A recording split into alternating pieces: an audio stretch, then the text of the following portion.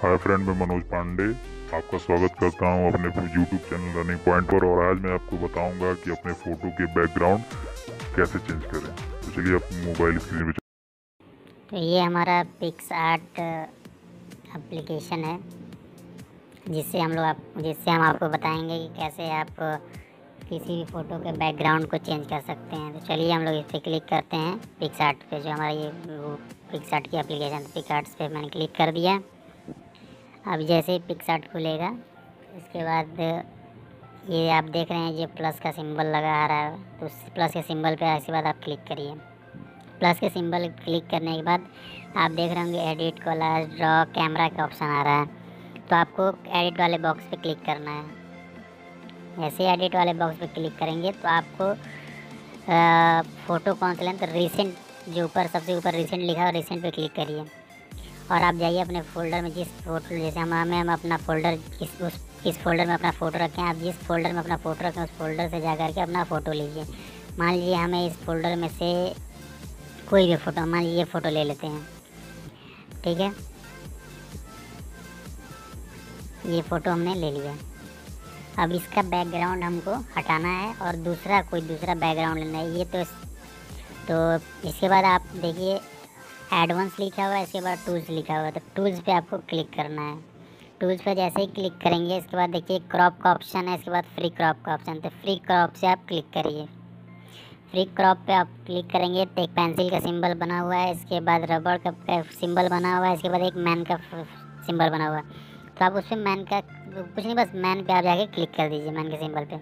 जैसे ही क्लिक करेंगे तो ये जो, ये मैं जो मेरा पिक्चर बना हुआ है, वो अपने आप कलर हो जाएगा।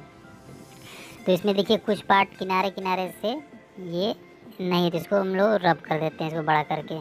जो हमारा ये ये सारी चीज़ें। मतलब आप एडिट कर लीजिएगा अच्छे से। मैं वीडियो में बहुत लंबा है, इसलिए मैं पूरा नहीं कर पाऊँगा। इसके बाद आपको फिर कुछ नहीं करना है। ये जो सिंबल देख रहे हैं एरो का, इस वाले पे क्लिक करना है। ये देखिए, ये हो गया, आपका पूरा बैकग्राउंड कट गया। इसके बाद इसको आप सेव कर दीजिए।